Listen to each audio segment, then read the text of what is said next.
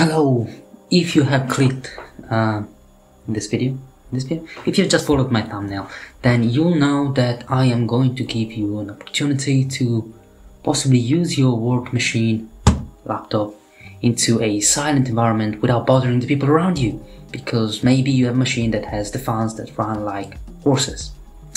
So, the way we solve this, and even better, more likely to work if you have a 4000 series Ryzen machine is, well, you know, to open the command center, put the comfort mode on. Thank you for watching. What you want to do is obviously put the comfort mode on, but on top of that, because obviously comfort mode does sometimes just with the fans, but if you want to avoid that, then you want to keep the temperatures down by doing something more, and that is to disable Turbo Boost. What am I talking about? Turbo Boost is simply the CPU has a base clock that has a boost clock. CPU will try to go to boost clock whenever needed, but it also does it when, I don't know, it's also idling for some reason. I don't know why. But by disabling the turbo boost, what we do is uh, prevent the machine from going up to too high of a clock speed and therefore um, reduce the speed of the processor, but that's fine because if you are sort of working in a silent environment, you're likely to be in a library or next to your partner in bed, and you don't want to wake your partner, do you?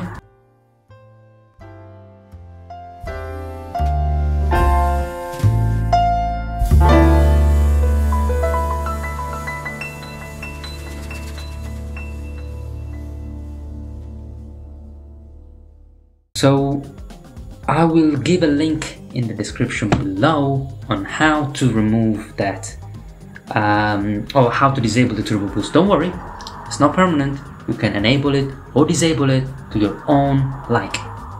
Yes, I'll show you how as well. But I will not show you how to enable uh, the first place because I don't want to take credit for someone else's video. No. So yes, after that I am going to test out my theory. My theory is I'm gonna launch uh, Cinebench, because that seems to be the only benchmark I work with, but I'm going to launch Cinebench and uh, start it a few times in series to see at what point, at what point this bloody machine starts going boom. Yes, let's do it. Alright, so I have here my temperature monitor, which is simply CPU monitor. Is it CPU monitor? What is it called? What is this thing called? It's called Open Hardware Monitor. Yes. Okay, I've got uh, Omen Control Center open, comfort mode, as stated, fans in auto mode, not max speed, because otherwise there is not much point in what I'm talking about right now. And another thing, it's the turbo boost, so let's check that's off. So obviously the video that uh, I will be leaving the link of in the comment section below explains how to enable this option in this menu here. So change in advanced power settings. So when you open this setting here, processor power management, this thing here doesn't actually appear until you activate it. So go and watch the video if you haven't done so and then activate it. And then I'm gonna put this in disable mode. So I disable the turbo boost, so boom. So this is disabled. I have a graph here showing temperature, so temperature right now is between 20 and 40 degrees, so it's just about 30 here for both CPU and GPU. Um, computer's doing nothing right now, so CPU clock speed is like nothing. Not nothing, you know, it's, uh, it's there. Power drawn, it's here.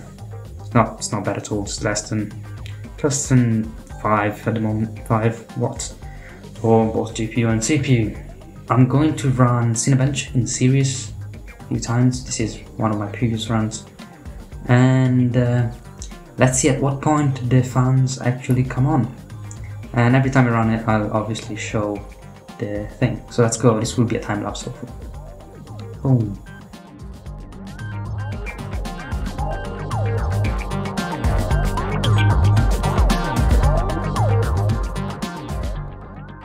So yes, now the first test is finished. The little pause there, I realized my battery was not oh shit okay. my battery here was not on charge so I put it on charge now Um, so expect better result if it's not on charge because as you can see when it's not on charge it doesn't even try to reach the base clock. It just stays there. Whereas now, now it's plugged in, it's you know it's going all over the place. But that's fine. It's still lower, much lower than the 4.2 gigahertz. So the peak temperature reached is about uh, 50, 50, 57 here. And yeah, now it just goes back down and it just idles at 40. It was 20, was it 20 before? No, 30, okay, 30. So it's now idling at 40, just finished the test. The fans have not gone on. So let's continue. Second batch. Boom.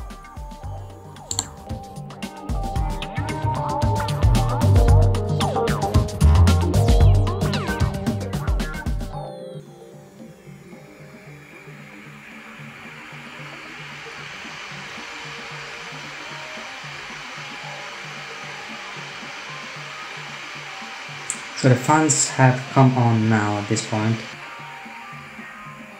No. Never mind. Temperatures have plummeted down. Okay, so it wasn't for long. And you could hear it, but to be fair, I'll be honest, this is quite some uh, heavy workload. If you just go to the library and use Word, really. Where is Word? You just go here. Is not my name don't don't believe that. Not my name super traffic. Um, yes. So if you just use world word obviously you are not going to um, use the CPU as much as this. This is literally just pushing the CPU to its limit. So my guess is as soon as it approaches between 60 and 65 degrees uh, the fans kick in. So if you live, if, if you can keep the fans or the temperature of the CPU low enough, then obviously the fans will not go on. And I'm actually surprised by how much power is delivered here to the CPU when the fans are not on. So yeah, good. So yeah, if you're using this computer, make sure that if you're using, I have good cooling here, but if you're using Ryzen CPU, especially the the the, uh, the one without dedicated GPU, definitely going to see a difference. So we've seen the results. The fans have come on on the second test uh, by pushing the GPU to its, not the GPU, the CPU to its limit. Um, so, what's my take on it? My take is if you're writing something like a Word document or you're just browsing, you're not going to use 100% of the CPU especially not 8 cores, to 8.2 to 2.8 gigahertz. So expect the temperatures to stay down and the fans to not come on at that point.